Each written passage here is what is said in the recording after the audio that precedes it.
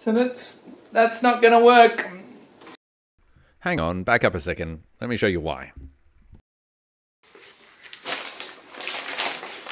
Since last test, I've lost a bit of visibility. This bar has migrated up right into my eye line. I have to address that.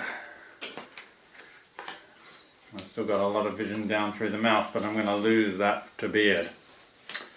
My vision is to have a clear and wide eye line with plenty of peripheral and especially down without having to tilt my head forward too much because although I will work on the weight there's no avoiding the fact that I've got a big extra thing on my head. Okay, scale check. It's wrong. So wrong. I can't stand up inside, which is difficult.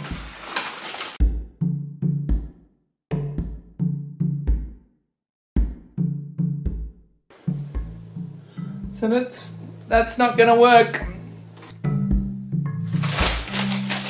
As a maker and a teacher, I think it's pretty important to show that we don't nail it first time most of the time. So, ready to start again? Here we go.